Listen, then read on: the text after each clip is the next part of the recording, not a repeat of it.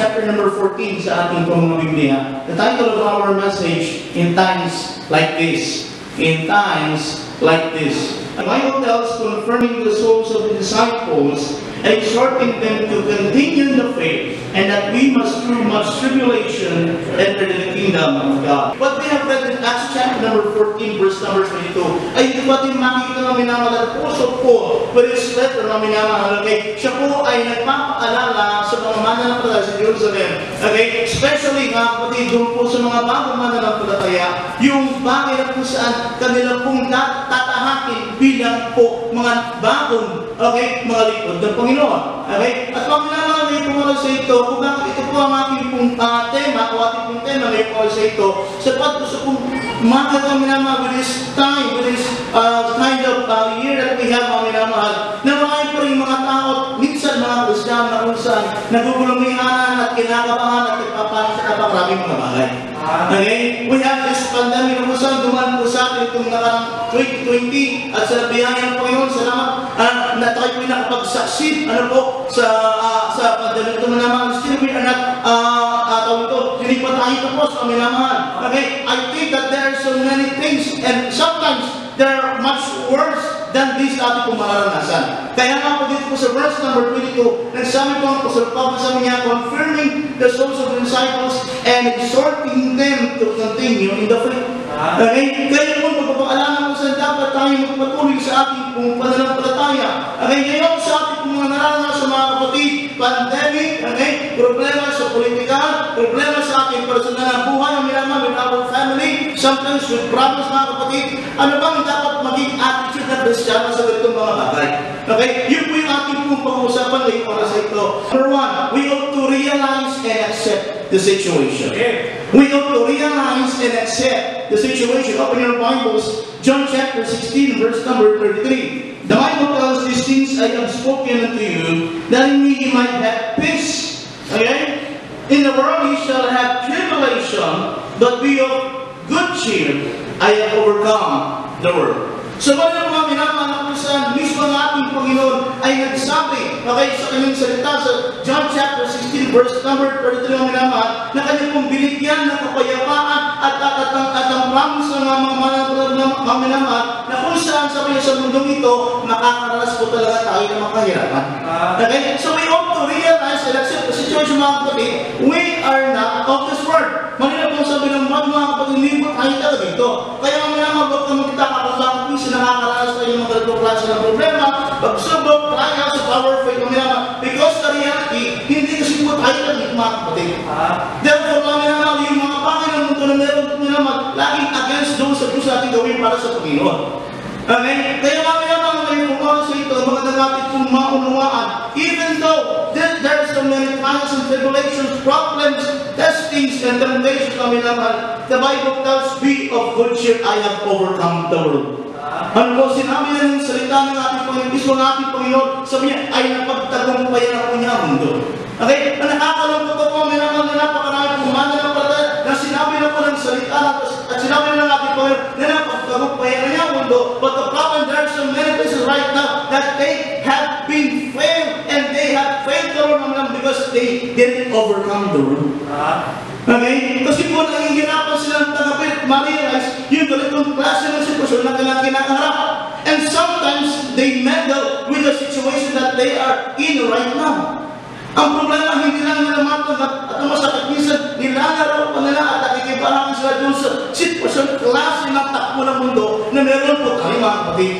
Kaya kami lang mga problem po ng maraming mga mananampalataya. Ngunit magandang ating po mga mga kapatid ngayong oras sa ito, hindi po tayo kagamundo, okay? And the world is being corrupted mga minaman. Therefore, bilang mga mananampalataya, kailangan natin tanggapin. Ito yung meron sa mundo minaman. Ngunit salamat sa Panginoon mga kapatid ngayong oras sa ito, na yung mundo, problema ng mundo minaman, patigit pa rin mataas na kapayanan ng ating pong Panginoon. At kung tayo pwede magtiwala mga kapatid, So we ought to realize and accept the situation. And it's only that number two, we ought to realize and acknowledge the purpose and plan of God. Okay? Hindi lang po dapat ma-realize at tanggapin yung kalagayan na ating pong kinakaharap ngayong ah, ngayon pong panahon ito mga kapatid, kunin ating pong papagtiwalat, kilalanin ang layunin at plano ng Diyos sa ating pong buhay. Sa puto minamang mas marami yung problema, mas mahirap yung ating kinakaharap. Ang daming bayarin, ang daming bills, okay? Minsan may mga kasaway pa mga tao magugulo sa iyo. Ano po, paano kung haharapin, paano ko rin pagtitiwalaan ang kapangyarihan ng Diyos? Okay? How could I rely with the purpose and the plan of God in my life if that problems overwhelms my life, if temptation overwhelms my life? How could I rely on the purpose and the plan of God? Yun po yung ating pumagandang makita ngayong oras ito. Number one, we ought to rely with a true heart in full assurance of faith. Uh-huh. Hello? We ought to rely with a true heart in a full assurance of faith. Hebrews chapter 10 verse number 22. Sa iyo pong mga Biblia mga kapatid. Hebrews chapter 10 verse number 22.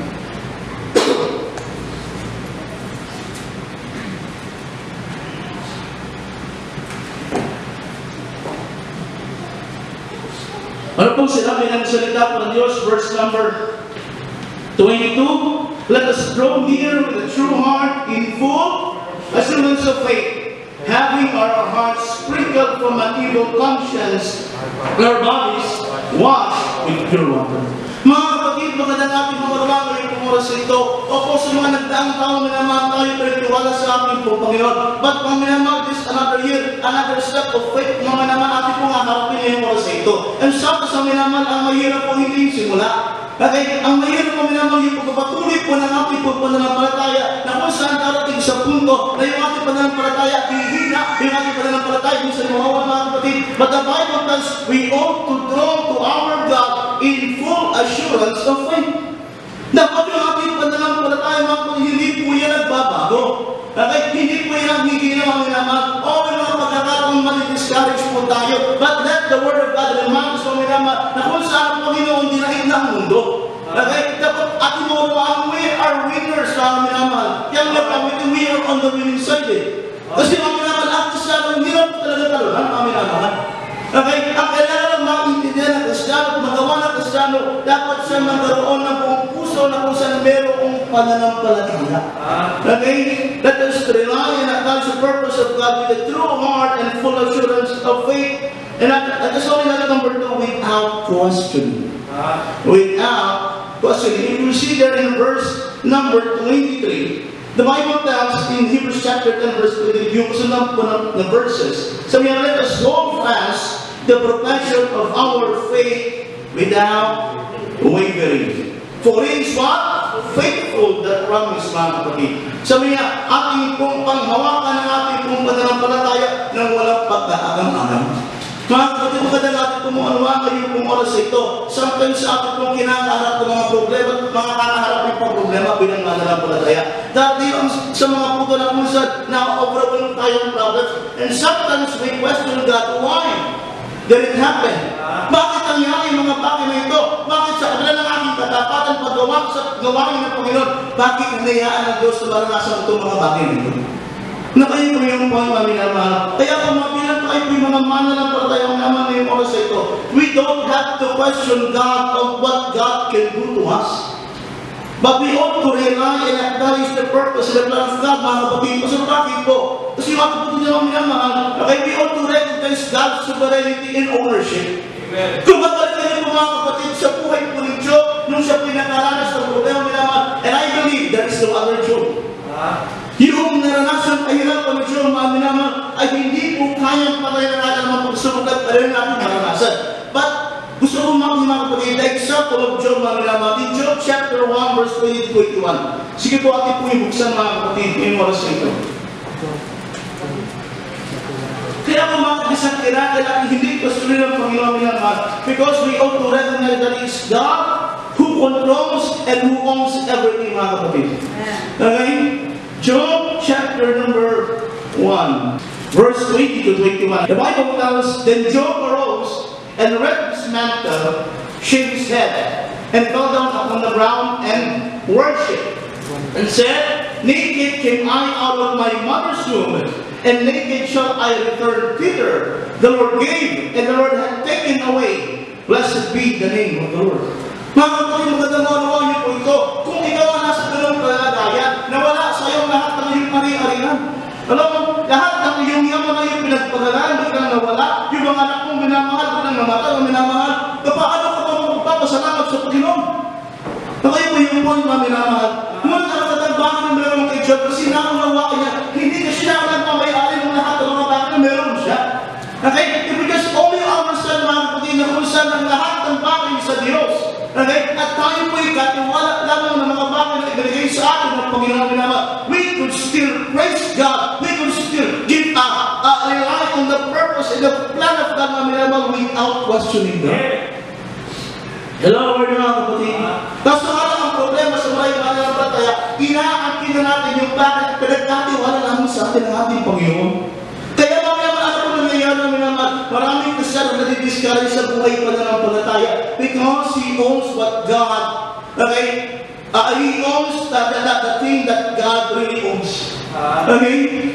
Minsan, ginagawa natin tayo na yung may amin ng bagay mga kapatid. May I remind you, brother, once again, we are stewards of the manifold grace of God. Yeah. Tayo po'y mga katiwala lamang po ng ating pong Panginoon, mga kapatid. Kaya yung bagay na ating po nararanasan namin namahal, yung problema ito, yung mga bagay na kasi nagkakalob sa atin, na yes, we praise God and we thank God for those blessings that we have. But always remember, mga kapatid, we are stewards of what God's given to us. Yeah. And we ought to take care of it, mga minamahal, spend it wisely, mga minamahal, para sa kanyang kapurihan. Okay? Recognize God's sovereignty.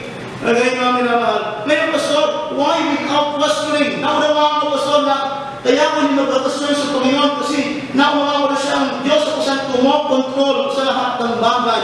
Okay? Ngunit, Pastor, ano bang dapat talagang maging trato ugali ko pagdating sa ganitong mga bagay na aking panimaranasan? Ah. Kasi katibahan na kayo na, dapat ating ma-realize, okay, yung sitwasyon na ato po kinakaharap. Okay? Almost remember, it's God's testing ang minamahal. Ngayon, kung hindi ko ay talaga, it is God's chastisement. Ah. Okay, but if you're ser- serving, serving God faithfully, remember, we ought to remain steadfast in God's testing.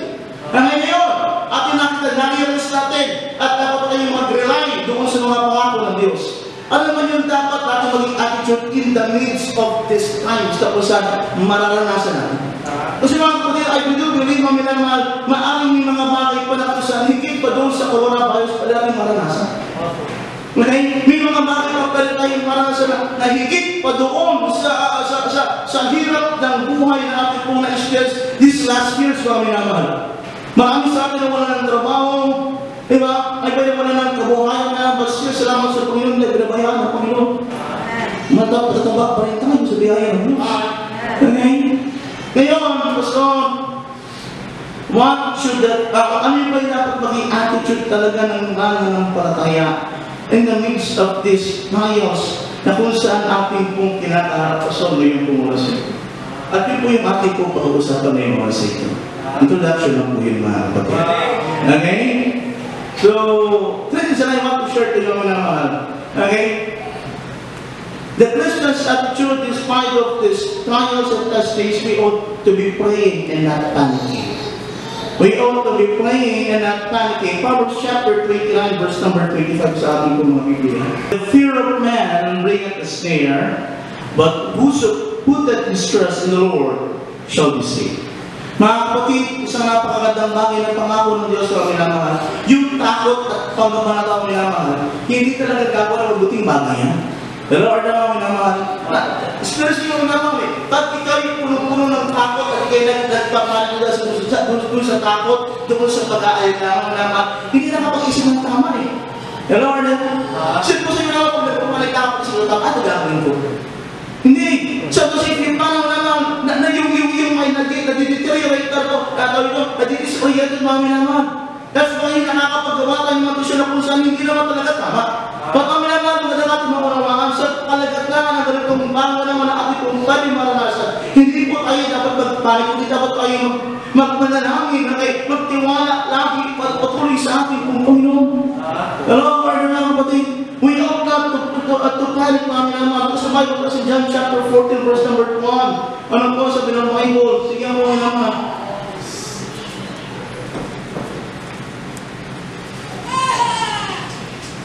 John chapter 14 verse number 1, the Bible tells in John chapter 14 verse number 1, dyan po kayo mga kapatid. Ngayon naman sinabi ng Satan, let your not, let not your heart be troubled. You believe in God, believe also in me. Hello? Alam niyo, naman itong talata ito ay very simple. Maaaring sa akin, maraming ito.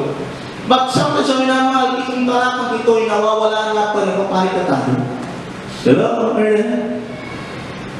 Sino sa kanya ang sabi ng pastor, alam mo, nung nasa alagitan ng pagkakapanin ko, naaalala ko yung mga talatang yun.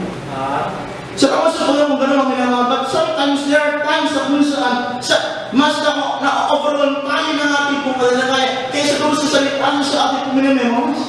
Therefore, ang naman natin mga naman ngayong oras na ito, kung atin talagang iintindihin ito, sabi, let not your heart be troubled, you believe God, believe also in me. Naman hindi po nakakalungkot, ang Kristiyano pinagtiwalaan ng Diyos sa kanyang kaligtasan, pero sa problema minsan, guma kayo gumagawa ng para paano makakalabas dito. Hello? Ay, mga kapatid, kaya kung ang yaman mga natin mga mga, sa halip na gawan natin ang sariling paraan, bakit hindi tayo malalaki?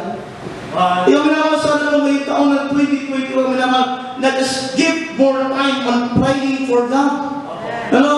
Mas naisin natin palagi at palagi yung naman ang presensya ng Diyos sa ating bumuhay yung naman.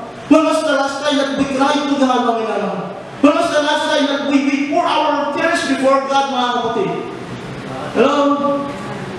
Minsan ba tayo ba kayo nagbibigay talaga ng panahon sa pananalangin mga minamahal? O baka kapag na naman tayo ng, ng isang, uh, isang lalaki kilala mo, na kung saan minawa kanya ang tinapay at sinawsaw sa kape. At pag sinawsaw sa kape, pinirasa natin sabi, Lord, gaya ng dati. Hello? Mga minamahal, nakakulungkot po yung naman, marami mga kristyano, pinapalit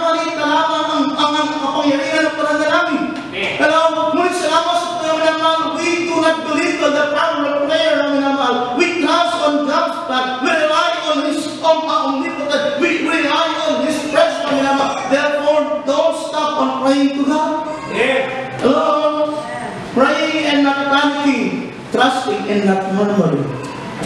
Hello, Arden? Philippians chapter 2, verse number 14 sa ating pong mga Biblia. Philippians chapter 2, verse number 14.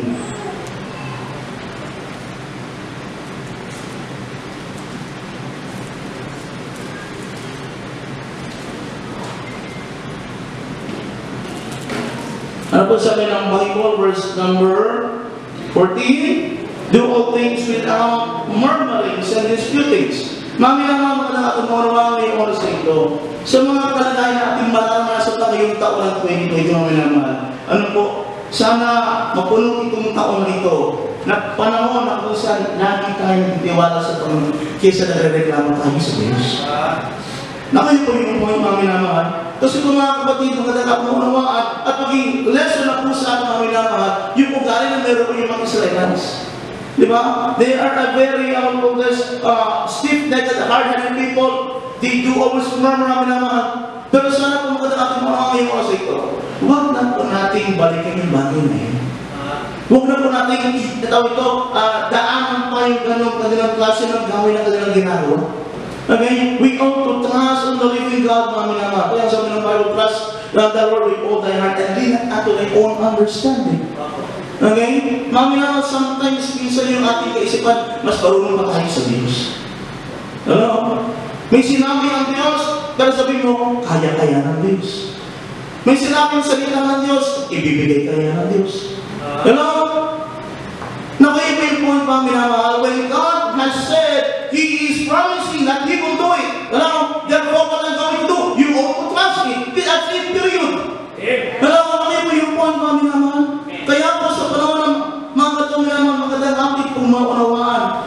We ought to have this kind of attitude, mga minamahal. We ought to trust. We ought uh, to have that, uh, that trusted heart. Okay? Na not a murmuring, not a murmuring one. Okay? We ought not to worry, hello? But we ought to still keep on working. Mga kapatid, ngayon po oras ito, kami po nakakalabot na bagay. Noong nakaraang taon, maaaring mga kapakaiman na ng patay, tumigil na sa paglilingkod sa Panginoon. Bakit, Pastor? Kasi nakaraan sila ng problema ng buhay. Medyo naging mabigat yung pandemya na nila kinaharap. Kaya hindi sila nakapatuloy. Pero mga minamahal, we do know, we always do know mga kapatid, Okay? Like Matthew chapter 6 verse number 25 tells, yung mga ibon na sa parang pinapakain ng Diyos, kayo pa kaya? Ano, kayo po yung point namin naman. Those, things that I mga kapatid, it should be our attitude ano, in the midst of this times, Lord, na sa mga panahon ito. Okay? Ngayon, Pastor, nakita ko na, naunawaan ko na dapat kong i-accept at uh, ma-realize and accept yung situation. Kailangan kong pagtiwalaan at kilalanin yung purpose at plano sa buhay ko sa pagsa Diyos na mga- nakapangyayari sa lahat ng mga bagay. At dapat ganito yung maging character ko. Praying, trusting, and working. Ngayon, Pastor, ano yung mga bagay na dapat kong ipagpatuloy despite of this crisis that I'm experiencing right now? Okay, ilang bagay po minamahal. Okay, let us continue on worshiping and exhorting one another. Let us continue on worshiping and exhorting one another. Ano pa naman minamahal? Hebrews chapter 10 verse 25. Not forsaking the assembly of ourselves together as the matter of some is, but exhorting one another, and so much the more. Ano, mga minamahal, napakasarap po na ating pong amaran sa mga kapatid at ating pong maintindihan. Ito na parang pandemya na naman kala natin matitigal yung ating worship. Yung, yung, ba pumasok ng lahat ng mga kala ko sabi ko, ay, tigil na yung service. May hihirapan na kami.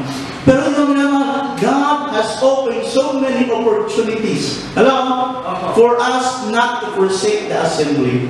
Alam mo, minamahal. Kasi po minamahal sa kabila ng mga bagay na minamahal tayo, ating naintindihan Diyos ang naglagay sa akin sa ganitong kalagayan at Diyos ang magpadala sa akin minamahal sa pagtatapos sa ganitong minamahal. We ought to continue on worshiping Him. Hello? We ought to continue worshiping Him even though our trials is hard. We ought to continue worshiping Him despite ang mga ating pong kalagayan. Ang minamahal. Sa lahat ng panahon, dapat nagpapatuloy tayo sumasamba sa ating Panginoon. Ay, huwag tayo maging katulad na kung saan yung mga ibang pananampalataya na kung saan sisimba lang dahil birthday ko. Hello? Ginagawa ang birthday na ang, ang gawain ng Diyos. Na kayo yung mga mga kapatid. We ought to continue worship and exhorting one another. We ought to continue on working and serving for the cause of evangelism, mga kapatid. Salamat sa Panginoon na mga despite of pandemic, meron pa rin inililigtas sa Panginoon. Um, I am so happy, I'm so blessed sa ating paggawain. Not to brag, mga but I want to glorify God. Kami naman, nasa kahit sa kabila ng lockdown, meron pa rin pong ibinibigay ng mga bunga, ng mga bagong mananampalataya sa ating paggawain. Alam mo ako noon, Sister Christina, ano po, na-save sa kalagitnaan ng lockdown. Live stream na nakikinig. Nagtanong sa akin, Pastor, sabi niya, ang buti subay kasama sa kaligtasan. And I, and I shared through live stream ang naman. Salamat sa Panginoon, tumanggap sa Panginoon. And right now, she is now a full-time worker of our church. Salamat sa Panginoon naman ang Diyos at siya kumikilos not what what what could I do, not what our mission could do, but what to do to the hearts of these people. Okay, we ought to continue on working, serving for the cause of evangelism. We should not be worrying, but enjoying and enduring and willing to be a blessing. Hello? Mami naman, naman niyo po ito, itong pandemic na ating po naranasan mga kapatid. Maaari yung iba ay tumigil na sa kanilang ministry na magipagpapala sa iba. Pero kami naman salamat sa Panginoon sa example ng Macedonia. And I thank God for 2 Corinthians chapter number 8, kami naman, na kung saan ipinakita ng Panginoon through Apostle Paul when he, uh, when, when he claimed and when he said about the Church of Macedonia that despite their poverty and their trials, kami naman, still sila pinagipapala sa Panginoon. That's why mga minamahal tayo din po bilang mga mananampalataya. Kahit sila ni Pastor, wala naman akong trabaho. Bakit ako magbibigay sa gawain ng Panginoon? Pastor, estudyante na ako. Bakit ako magbibigay sa gawain ng Panginoon? Mga kapatid, huwag mong titignan yung kakayahan mo. Hello? Huwag mong titignan kung ano yung, mula ko mga kapatid. Kasi wala na nga tayo. Ang tingnan natin yung may kakayahan na magbigay sa atin ng magpapala. Kaya mga kapatid, magandang ating maunawaan na yung oras sa ito. Ano po, let us, uh, let us continue on being uh, a blessing to others, mga kapatid. Ano, amen? Salamat sa Panginoon kami naman biyaya ng Diyos sa ating pong gawain sa munting lupa. Ano po, right now, we are now uh, on our, uh, oh, ito, pagsisimula na namin po pagbibigay through missions. Pero ako din salamat sa Panginoon, hindi dahil sa yaman, hindi dahil sa galing, kundi naintindihan at siya na usap, hindi kasi kami, hindi yung kakayahan namin, kundi yung Diyos ang kaya ng pala sa amin. Naman mo point ang naman. That's why, even though in the, this, in, the, in the midst of this pandemic or this kind of situation, let us continue on being a blessing. Opo. Yung ating po magiging vicious couple, sa mga makakasabi ng tao, ay gastos, gastos na naman yan. Pero mga kapatid, always take this as a privilege to be a blessing. So, minamahal yung mga ating kayang i-out daw daw, tatapatan yung kaya gawin natin sa buhay natin mga naman. Kaya nga sinasabi sa mga members ko sa Muntinlupa, huwag yung tignan na ang pera ay pera. Tignan nyo, ang pera, na ang pera ay instrumento lamang na pinadaan sa inyo Diyos para maging pupala sa iba. Nangawar niya. Kasi ang mga mga pero sila naging problema ng mga Kristiyano. Na po sir, ito na yung pera ko, paano yung ganito, paano yung ganito, ano. Mga kapatid, kung bihira nag-lockdown, pinabayan na tayo ng Panginoon. Binusog na tayo ng laki niya sa kanang nag-asartins eh. and the fear, the failures, and the lackness. And everyone has its his own story of problems and could be even reasons to leave God. And so in times like this, thank God for the thoughts, the words of the Lord that we have read and preached. May I summarize the three things that uh, we learned from the message tonight. First is to realize and face the challenges, or face the challenges and realize. There are many Christians who are running away from problems, making them as a reason on why they leave God. amen. Kanina na pag-aralan natin, isa ng mga ngaral, tingnan mo rin, baka namamalo ang Diyos. Pero hindi rin lahat ng hinaharap natin palo. May mga pagkakataon, purpose niya, gusto niyang maparating. We are in an imperfect world.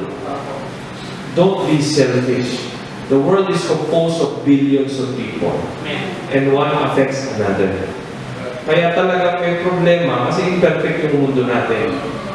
But there, there is a so perfect God that has planned everything despite of the imperfections. And so, when He wants a purpose to be done, His children somehow would face trials. Kasi imperfect ang mundo eh. Hindi naman pwede na lahat ng dadaanan mo smooth eh nasa imperfect ang mundo. So magtiwala ka, baka may purpose ang Diyos kung bakit niya hinahayaan niya. And moreover, to, to, to, to mold us and purify us. So, you face, huwag kang matakot. How can I fear Jesus is here? Whatever it is, would it be the pandemic right now, or your own struggle in life, or the many problems that you had already and you're still solving, you face them all. Believing the promises of God. Another thing, as we have taught, as we have been taught tonight, is to rely and be faithful to God. Magtiwala ka ngayon sa Diyos. Kung talagang may mga problema ka, pagtiwalaan mo pa siya lalo. Magtapat ka lalo habang hinaharap mo yung problema. And of course, at the last, as we can find sa mga, mga maraming nabanggit ng Pastor James, na tunay nga na totoo, kailangan po tayong mag-focus at magbalik to focus and to return in doing the things that we can do right now. So ngayon, may problema ka, ang isipin mo ngayon, ano pa yung magagawa mo? Nandun ang panalangin, nandun ang pagbibigay, nandun ang pag-akay ng kaluluwa, at magugulat ka, marami pa rin maaapektuhan sa iyong buhay at, ma- at mapapalapit sa Diyos dahil sa iyong patotoo. Just a simple testimony of faith blesses others' hearts. Just a simple attendance of going to church, despite of the many challenges and obstacles, nagpupunta ka sa gawain ng Panginoon, people are looking at you. And you are shining as a light into the world. Moreover, the many things that you can do in life, hindi naman tayo pinagawa na ng world mag-enjoy eh. Tama ba? Meron pa rin tayo kumain ng masarap, pwede pa rin tayo mag-fellowship, at marami pa tayong magagawa para sa kanyang kaluwalhatian. So never ever let the problem, the persecution, the desperation, or whatever it is, control your short life to be lived on earth. Let that life be given to God. Amen? So in times like this, do not forget that we have a great God that is just with us. Amen? So let us keep on. Mga isang taon pa ito, 11 months that we will face. There are so many things that we can do for His glory and honor.